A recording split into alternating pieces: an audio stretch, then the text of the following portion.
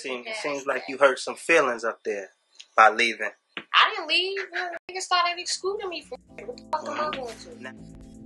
Amil burst onto the music scene in the late 90s with a sultry voice, a sassy attitude, and rap lyrics about money, independence, and designer clothes.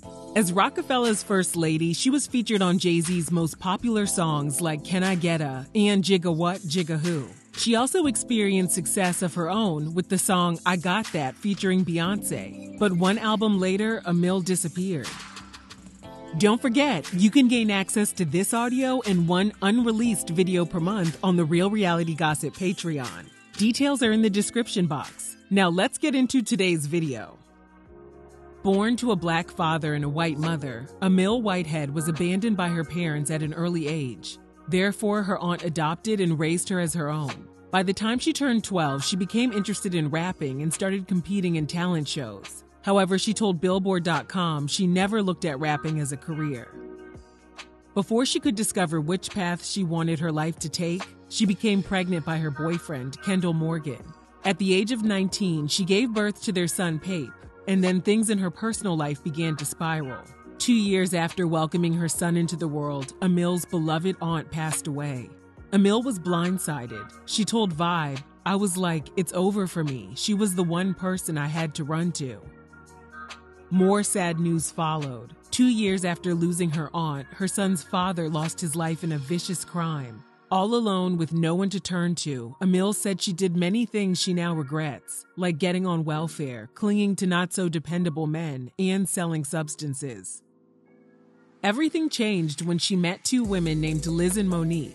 In 1997, they asked her to join their all girls rap group called Major Coinz. Amil agreed because she never wanted to be a solo artist and always felt more comfortable being part of a group. In 1998, her group members introduced her to Jay Z. At this point in his career, he was looking for a female rapper to lay down some vocals for his third studio album, entitled Volume 2 Hard Knock Life. Amil told Billboard her group member Liz had, quote, that star quality. Amil added, she was ready, maybe more ready than anybody else. Jay had both of them rap for the single Can I Get A, and he liked Amil's lyrics better, so he decided to go with her. It was the start of an amazing business relationship. Amil told Billboard, the way we sounded together, it was a good chemistry. Aside from appearing on Jay Z's third album, the single was also featured on the Rush Hour soundtrack. It was one of the biggest hits of 1998 and peaked at number 19 on the Billboard chart. Amil was also featured on the chorus on Jay's second smash hit, Jigga What, Jigga Who. Since they were experiencing so much success together, Jay encouraged Amil to leave Major Coinz and become a solo artist. She told Billboard she was excited but not really knowledgeable of what was ahead of her. She signed with Jay's Roc-A-Fella Records in 1998 and became known as the First Lady of the Roc. Her life also did a complete 180. She told Vibe, Jay just put this career in my hands. I went from having nothing at all to wearing diamonds.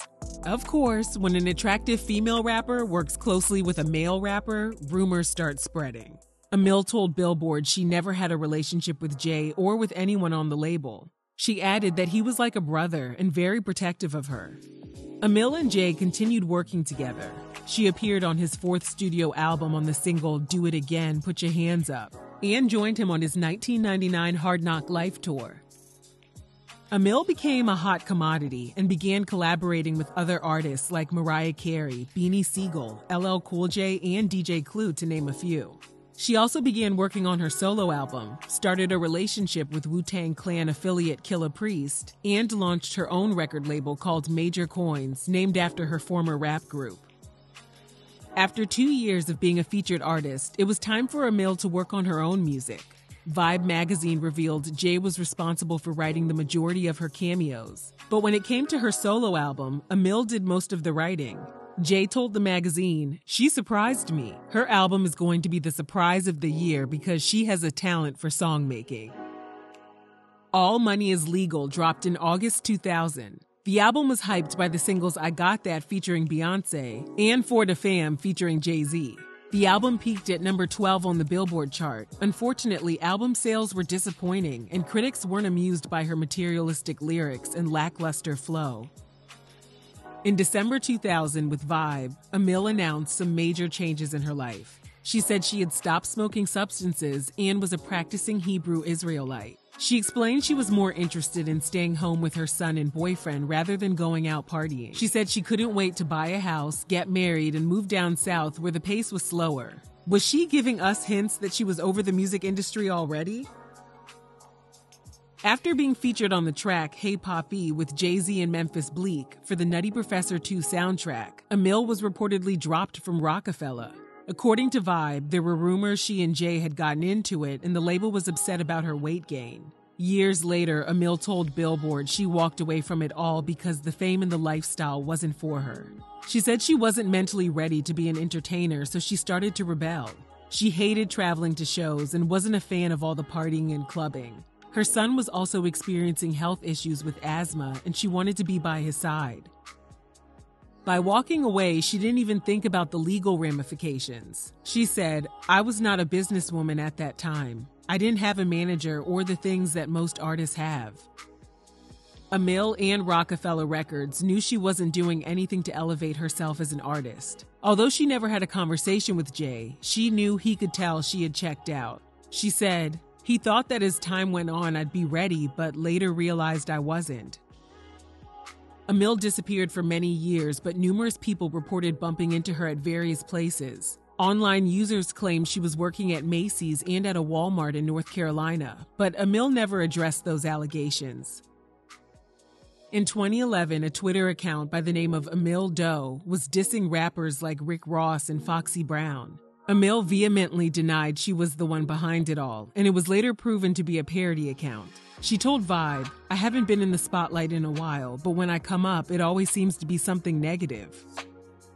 She gave an update on her life and said she was a mom of three. She also said she was busy working on an urban fiction novel and accompanying soundtrack, although it's unclear if it was ever released.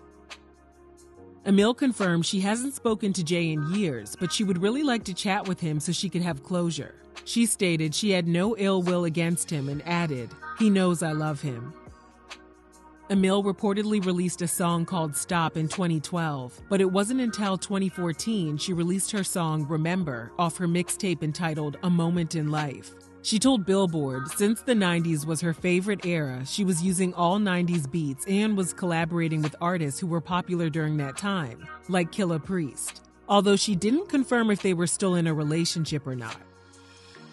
After her song was released, music lovers were unimpressed. The Breakfast Club gave her the title of Donkey of the Day, and the radio host had this to say Hey, Amil, we good, boo. Please don't do us no favors. That is one of the highest grades of garbage I've heard in a while. See, the thing about comebacks, right? People have to care that you coming back in order for it to be a comeback. It's like being lost. You're not lost if nobody is looking for you. All those years you worked at Walmart in North Carolina, Amil, it wasn't one blog post, one tweet, one Facebook status asking for an Amil comeback. In fact, it's a lot of people who didn't know you were here in the first place. Amil retreated from the spotlight once again, up until a 2018 interview with Hip Hop News Uncensored. Amil gave a different version of what went down between her and Roc-A-Fella Records. She said some of the label's assistants were hating on her and her relationship with Killah Priest. And she also confirmed that when her weight increased from 110 to 135 pounds, she was alienated at the label. Yeah, I got up to a little 135 pounds, if you want to call that big. Okay, yeah, I got there. Oh, so they even said that because you even heard because you gained some weight. Yeah, that I gained weight, that I was real lazy and all this shit. She then stated she didn't leave the label, she was essentially excluded from everything. At that point, she couldn't even get through to Jay directly and had to go through his assistant to get in contact with him. She still had love for Jay, but she couldn't understand where the disrespect from him came from. Like when he reportedly dissed her during a televised concert. Amil said it felt like he was trying to block her from having a comeback. She said, If I come back out, let me do it. Let me do it on my own. If I only get $20,000, let me get that $20,000 so I can feed my family. Whether or not Amil releases new music in the future, we wish her and her family nothing but the best. Let us know if you're surprised by what happened to Amil, and thanks for watching Real Reality Gossip.